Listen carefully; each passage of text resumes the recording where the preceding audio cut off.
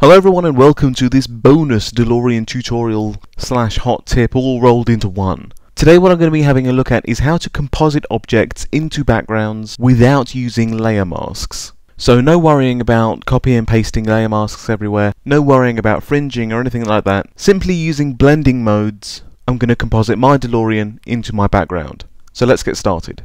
This is just my MXI that I've opened up in Photoshop containing my render and my alpha. And here is my separate render that I've done that contains my shadow layer. You can't see it at the moment, but here it is under here. And then finally I've got my background. Not forgetting that it's 32-bit to make sure that it'll work in my Maxwell MXI.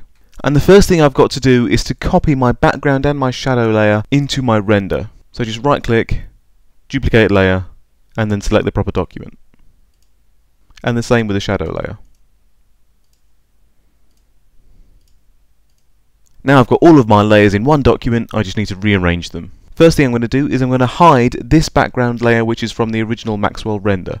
Then I'm going to put my compositing background at the bottom and my shadow layer above that. Then on my render layer I'm going to change the blending mode to add. But then in my background mask and in my shadow layer I'm going to change my blending mode to multiply. And it is as simple as that. Using just blending modes, no alpha layers at all, I'm able to composite my object into my scene. And remember, you want your render layer on the top, set to linear dodge add mode, your background mask underneath that, set to multiply, your shadow channel underneath that, set to multiply as well, and then finally your background set to normal. Thanks very much for watching, I've been James Coleman, a product design graduate from the University of Brighton and Maxwell Render mentor and tutor in Southeast England. Email me for more Maxwell Render help at maxwellrenderbrightoncdt at gmail.com and follow me on Twitter at jcoleman underscore design.